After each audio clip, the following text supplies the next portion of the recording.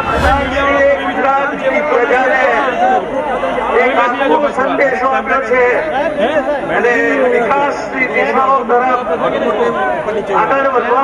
એક પ્રેરણાદાયક પ્રવચન દ્વારા આપણને આપ્યો છે ગાંધીનગરમાં બેઠેલા મહાનુભાવે એ વાત કરી આપણને. છે